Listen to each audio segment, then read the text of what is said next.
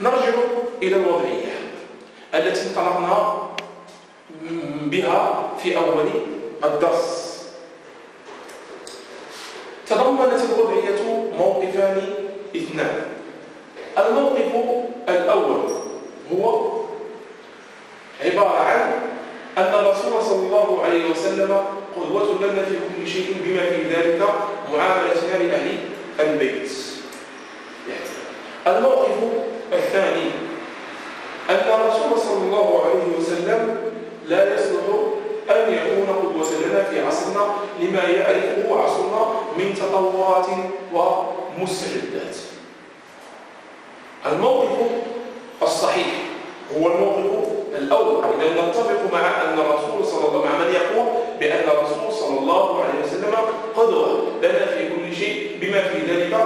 معاملتنا للأهل والأقارب وفي المقابل لا نتفق مع من يقول بأن الرسول صلى الله عليه وسلم لا يعتبر قدوة لنا في عصرنا لما يعرفه عصرنا من تطورات ومستجدات تعليل الاختيار لماذا قلنا نتفق اليوم؟ لماذا قلنا لا نتفق؟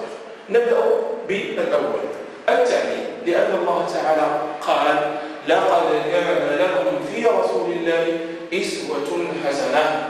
والإسلام صالح لكل زمان أرجع إلى الوضعية التي انطلقنا بها في أول الدرس.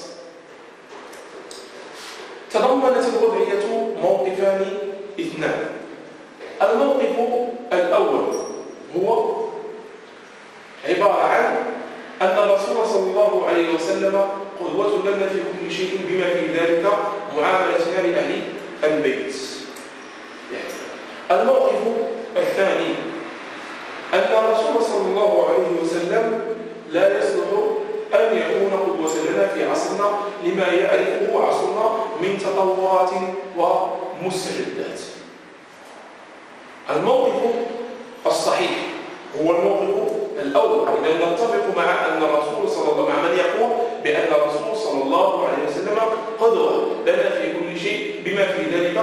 معاملتنا للأهل والأقارب وفي المقابل لا نتفق مع من يقول بأن الرسول صلى الله عليه وسلم لا يعتبر قدوة لنا في عصرنا لما يعرفه عصرنا من تطورات ومستجدات تعليل الاختيار لماذا قلنا نتفق اليوم؟ لماذا قلنا لا نتفق؟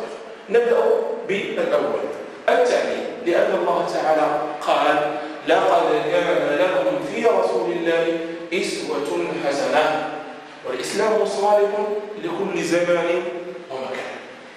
ولماذا لا نتفق مع الموقف الثاني لأن الله تعالى قال قل يا أيها الناس إني رسول الله إليكم جميعا. لفظ جميعا يشمل جميع الناس إلى قيام الساعة. وقد جعل الله هذه الشريعة شريعة خاتمة أو خاتمة يعني آخر شريعة ليست بعدها شريعة. ولم يخفى عليه سبحانه وتعالى ما سيطرأ في الأرض من تطورات ومستجدات.